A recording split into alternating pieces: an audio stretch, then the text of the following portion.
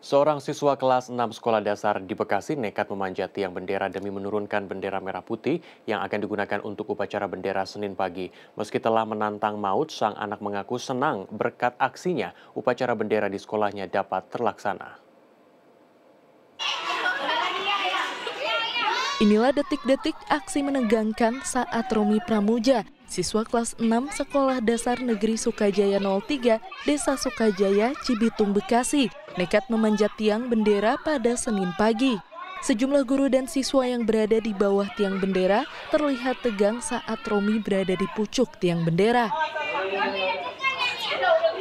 Selang beberapa menit, Romi akhirnya berhasil menurunkan bendera yang tersangkut di pucuk tiang bendera.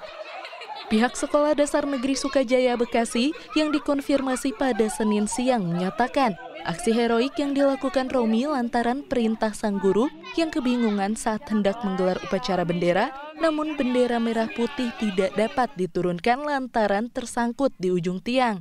Romi yang memiliki kebiasaan memanjat pohon akhirnya nekat memanjat tiang bendera. Meski diakui membahayakan keselamatan sang anak, namun para guru mengaku tak punya pilihan lain nganin bendera karena mau upacara. Mau upacara. Terus oh, benderanya nyangkut. Benderanya nyangkut di atas. Terus Romi sendiri pas disuruh guru gitu langsung ini gimana? Memang inisiatif Romi Pak? Hmm, inisiatif Romi.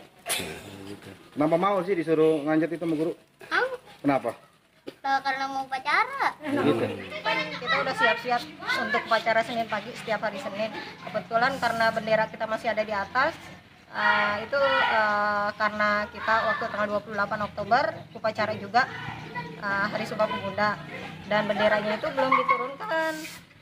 Pas Senin pagi kita mau turunin itu nggak bisa karena nyangkut. Makanya ada anak yang diminta kebetulan anak kelas 6 namanya Romi untuk manjat. Alhamdulillah bisa uh, kita jadi terlaksana. Upacara Senin pagi berkat Romi mau manjat yang bendera Aksi Romi Pramuji ini menuai pujian dari pihak sekolah dan para siswa sekolah dasar negeri Sukajaya 03. Meski demikian, para guru mengaku tidak akan mengizinkan aksi serupa lantaran disadarinya hal tersebut sangat membahayakan bagi siswa yang memanjat tiang bendera. Dedi Beben, Bekasi.